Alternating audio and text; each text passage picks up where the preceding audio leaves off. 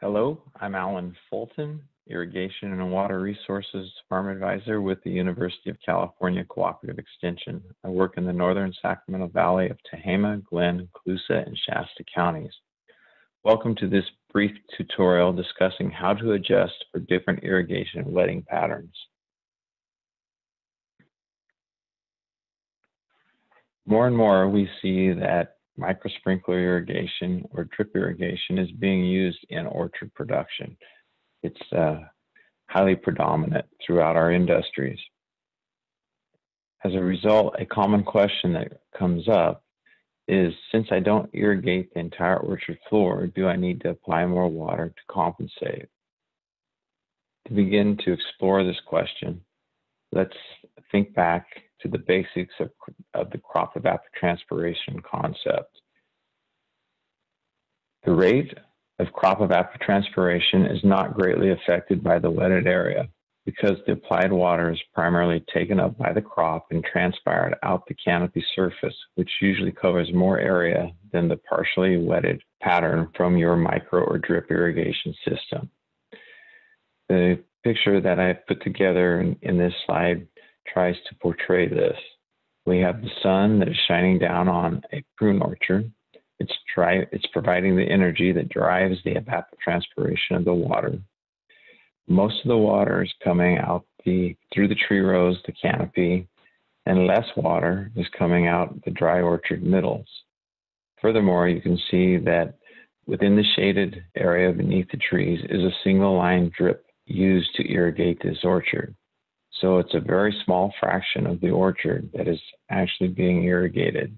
Yet the crop evapotranspiration is still occurring from the entire orchard surface and mostly out the canopy of the trees.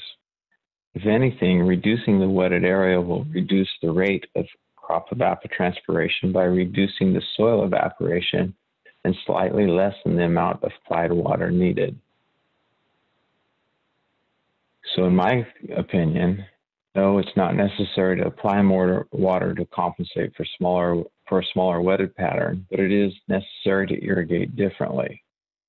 Smaller wetted areas translate to lower water application rates.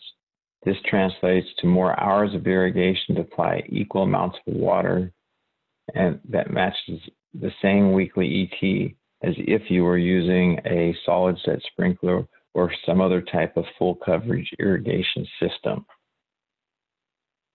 Consequently, it may be necessary to irrigate more often each week. The soil intake rates may cause runoff, and the soil water holding capacity that may affect whether deep percolation occurs may also govern this. You'll also want to consider your time of use rates as a factor. To try to illustrate this point, Let's do uh, a comparison in the next few slides. Let's first consider the water application rate of a full coverage solid set sprinkler irrigation system. So here I've used the screenshot from the water application rate calculator that's available on Sac Valley Orchards uh, source website. I've inputted, described a solid set sprinkler system I've inputted a flow rate for the sprinkler of 1.45 gallon per minute. That is gallons per minute, a higher flow sprinkler nozzle. Since it is solid set with higher flow, these sprinklers throw a, a longer pattern. And so quite often the sprinklers are set up every other tree, every other row. So in a walnut orchard with 90 trees per acre, there'd be 45 sprinklers per acre. When we work out the math using this calculator, we find that in one hour of operation for one acre, this solid set sprinkler will, will apply over 3,900 gallon per acre, which equates to a precipitation rate of about 0.14 or 1,400 inches per hour. Now, for sake of comparison and contrast, we'll look at a micro sprinkler system that does not wet the entire orchard surface, maybe 60 to 75%, like shown in the previous picture. In this case, the micro sprinkler has a flow rate of 18 gallon per hour, There is one microsprinkler per tree. And since there are 90 trees per acre, there are 90 microsprinklers per acre.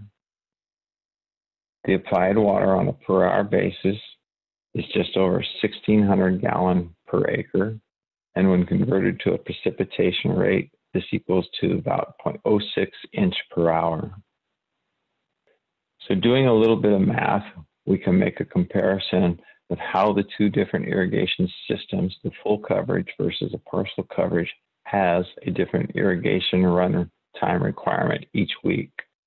For the solid set sprinkler, we have, if we assume two inches of ET with our precipitation rate of 0.14 inch per hour, this equates to just over 14 hours per week of irrigation to return that equivalent ET to the orchard.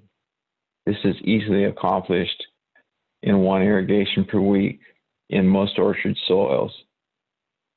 In a few instances, the soils may have intake rates that might limit this a little bit, but probably not. Now, in contrast, let's consider a, mic a micro sprinkler system that I described earlier. The precipitation rate is 0.06 inch per hour. That equates to 30, just over 33 hours per week to return that two inches of ET back to the orchard.